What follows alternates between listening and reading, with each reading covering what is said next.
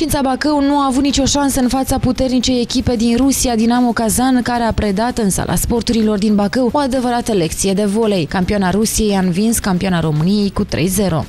Sunt necăjit încă. Și poate reacționez... uh, Că și după meciul cu Da, Kazan. da, da. Am pierdut urât și nu-mi revin. Mm. Nu, nu, nu, nu, nu. Chiar dacă este sau o echipă bună și asta, nu mi diger greu. Calcule matematice pentru Zurich.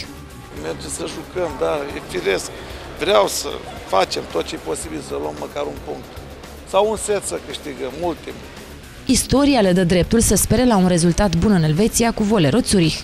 Poate să repete istoria și de data asta să câștigăm la Zurich. Istoria de acum șapte ani. 8, 7, 8 ani.